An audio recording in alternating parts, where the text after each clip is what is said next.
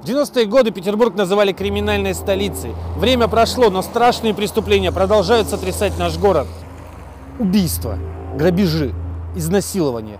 С вами канал Питер ТВ и программа «Криминальная столица».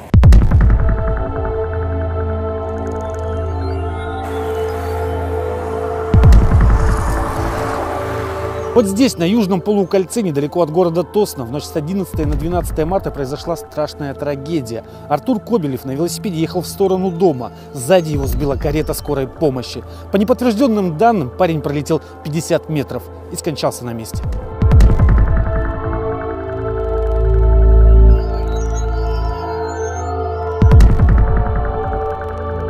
Следы страшной аварии до сих пор можно найти на обочине.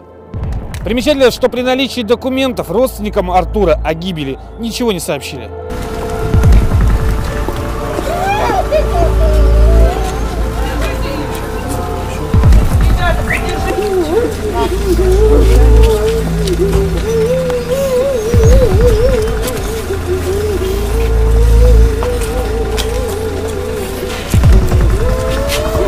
Мы провели собственное расследование и нашли свидетеля ДТП.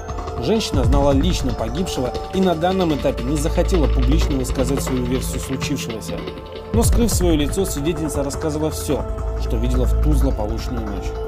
Мы ехали из Санкт-Петербурга и на развязке на Кировск, э, спустившись с, с моста, увидели очень яркий свет, значит, дальний, дальний свет. Потом резко одна фара потухла. Когда мы подъехали туда ближе, мы, два фельдшера и водитель уже вышли с машины.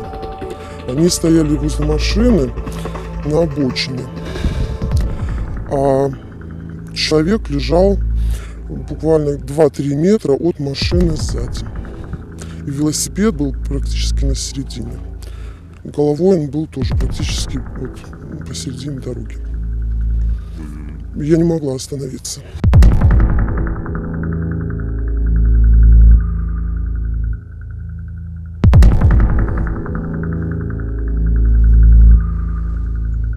Слезы матери, каменные лица друзей и родственников. Жизнь 23-летнего парня оборвалась. Теперь он лежит в земле. Кто виноват в этой трагедии?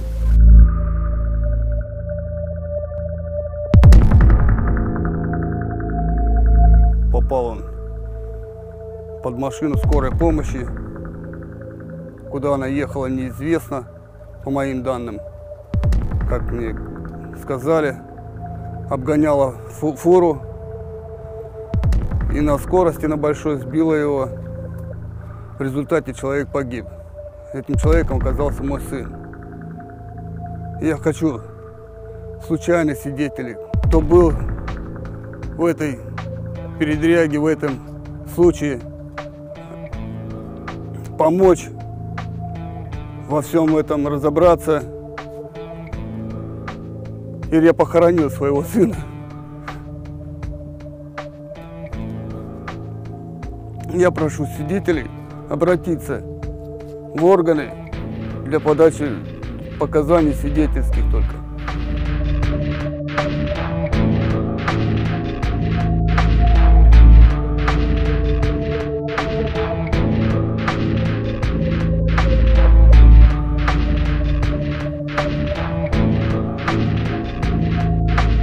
Юридическая служба Тостинской центральной районной больницы по данному эпизоду комментарий не дает, сославшись на то, что расследование дела еще не закончено. И в Тостинском ОВД в официальных комментариях нам отказали. По неофициальной информации, водитель скорой помощи в данный момент находится в Петербургском кардиологическом центре. История пока выглядит непонятной. Мы продолжим следить за развитием ситуации и сделаем все, чтобы справедливость восторжествовала. С вами была программа «Криминальная столица». И помните, что за каждое преступление вас неминуемо ждет наказание.